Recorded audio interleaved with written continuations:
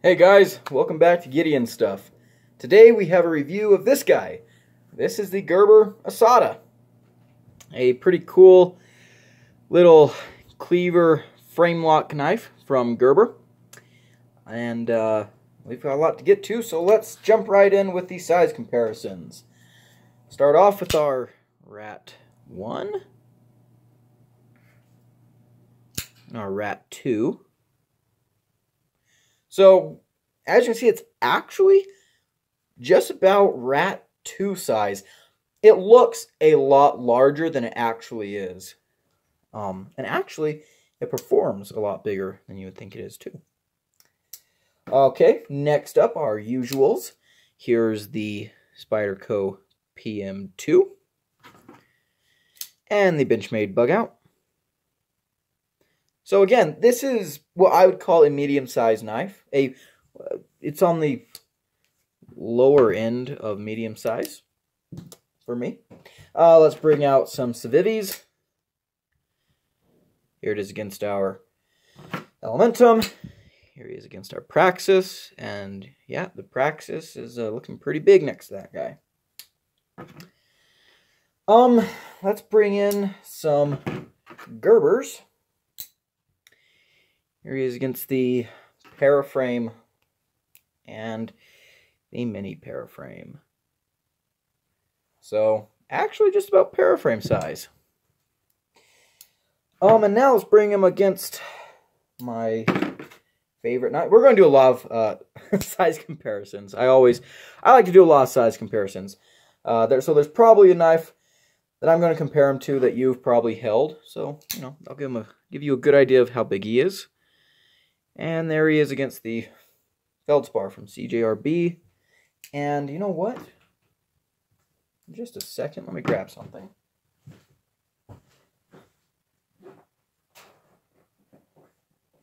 I just happen to have this sitting in my backpack. Here is against a very similar knife, the Gerber Flatiron.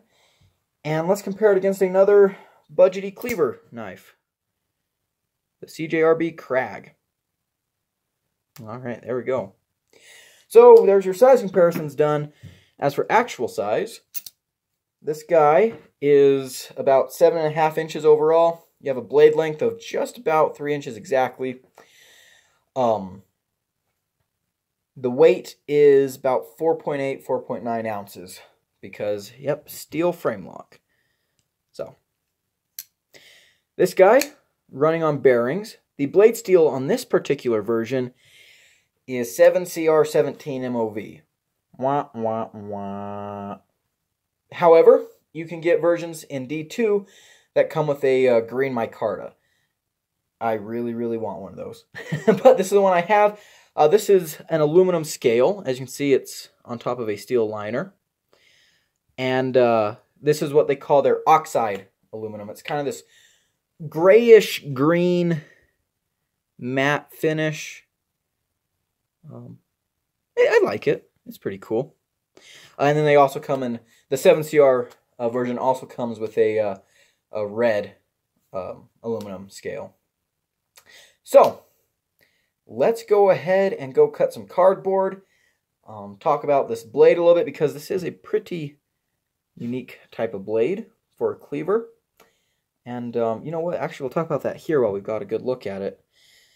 I'd almost call this a clip point cleaver. You can see it has like this aggressive swoosh, which means that for a cleaver, this has quite a bit of tip, or has quite a tip, as opposed to something like this guy here, where you don't really get much tip because the blade comes pretty much straight down to there.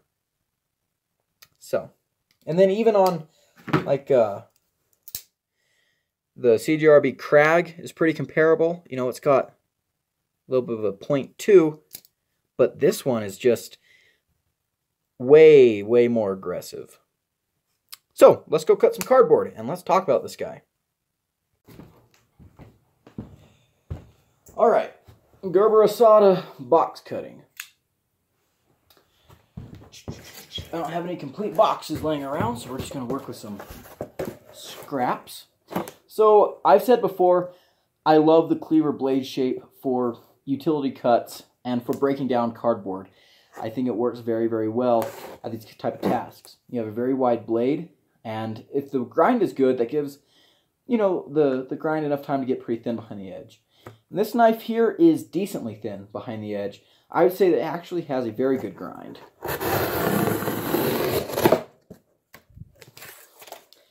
Yeah, it makes short work of boxes.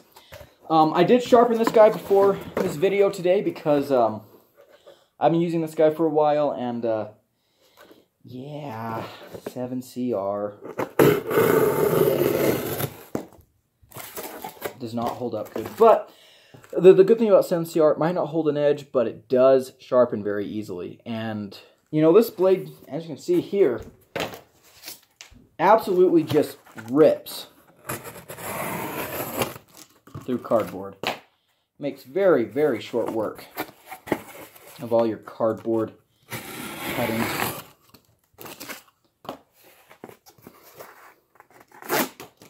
You have a finger choil up here, very big, very comfortable. In fact, the whole knife overall is very comfortable when you're holding it. We'll get into what makes it not so comfortable here in a little bit, but this is this knife really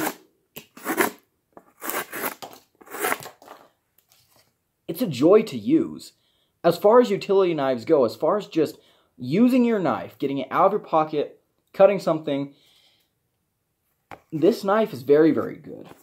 Very good.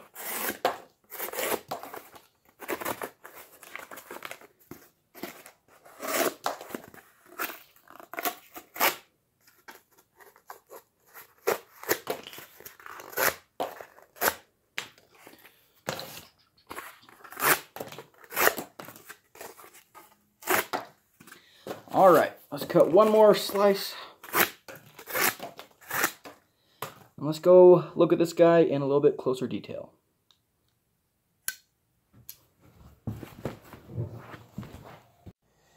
All right, Gerber Asada. Here's what it look, looks like in the pocket. So pretty standard knife carry. You can see it has this big fat clip.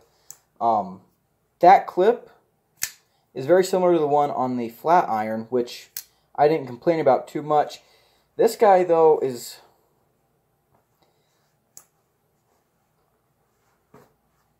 a little bit different. I mean, it's not a bad clip. I don't hate it. I just... Sometimes you can see there... Well, and there it goes in perfectly, but... You know, sometimes it just... Yeah, like that. Binds up on your pocket before you slip it in. Yeah, it's... I mean, sometimes it works good, and when it's in your pocket, there's not really a problem. It comes out good. But I don't know, I'm just not a fan of the clip. The blade itself, as I've said, I really, really like the blade. The action is, um, well, I mean, it's pretty easy to fail it. Uh, out of the, not box, but blister packaging that this knife came in when I got it. Um, not good at all. Terrible action. Um, also had, see, it's got kind of that double clutch type thing. It is running on bearings. Um, the action, though, is not so good. Centering, mine is centered now. It was not to begin with, um, not by a long shot. Like when I got this out of the box, there was a lot of work I had to do on it which I'll go into more detail on later. Um, yeah.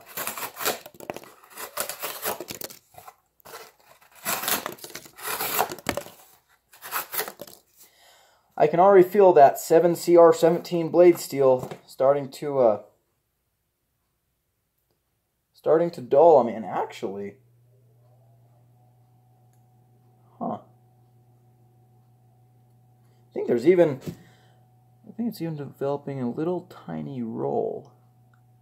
I'll have to look at it closer. I'll sharpen it up again anyways, either way, but um,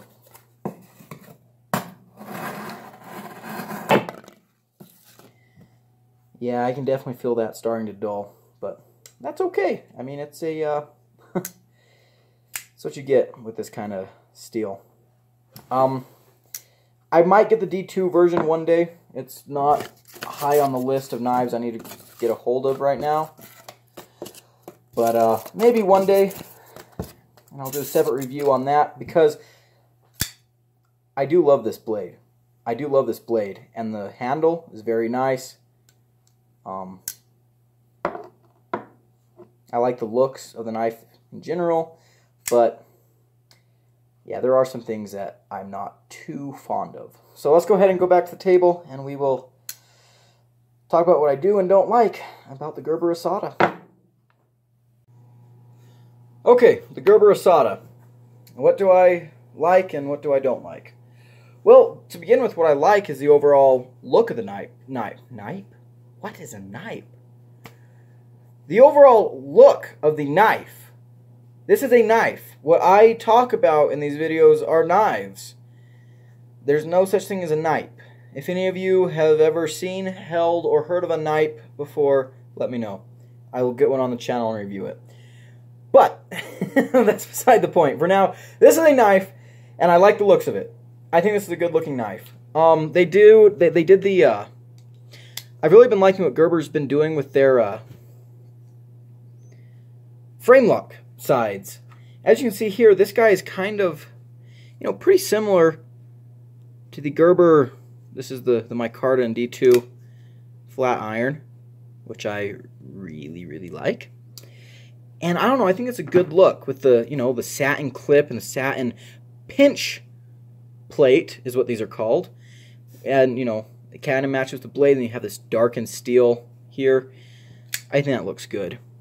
Um, I think the, the aluminum scale looks great. I think this blade looks awesome. One thing that I was using this knife for a lot was um, opening clamshell packaging. Because that, that tip is very fine. You, you can get it in there and drag. And I think, I, I don't know, for me it, it, wor it worked really, really good. Even more than, you know, something that has like a, you know, more stabby point.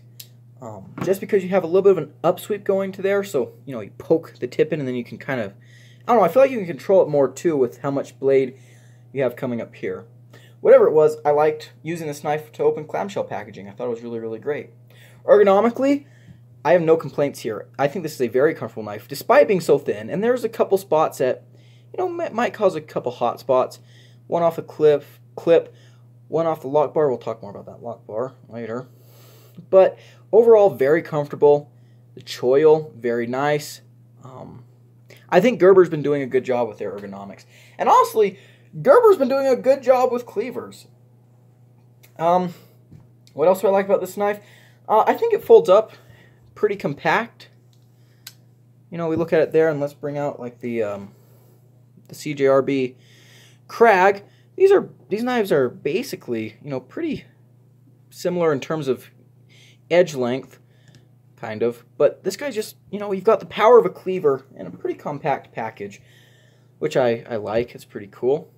The weight on this guy, yeah, it's a little bit heavy. Steel frame lock. I mean, eh, that's kind of what to be what's to be expected. Uh, the flipper tab itself is very nice. It's got good functional jimping on it. You can get a good grip grip on there, and yeah.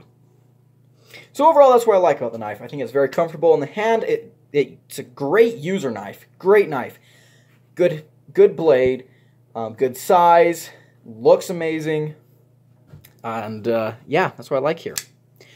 What do I not like? Well, unfortunately, there's quite a bit. Uh, so number one, I thought this guy was overpriced. You can get the 7CR versions online for about 38 bucks, but I still think that's overpriced, especially considering Get stuff like the Feldspar for 35 to 37. Ooh.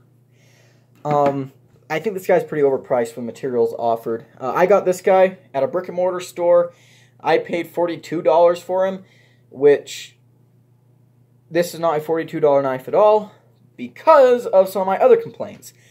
When I got this guy out of his clamshell packaging, he was terrible. Terrible the action was not good. The action still isn't the best, but I've tuned the knife so that it's serviceable. I mean, I can still fail. Sorry, I didn't fail it because it's pointed down. But you can still fail it pretty easily. Um, another thing was it wasn't centered. I have since I have since fixed that.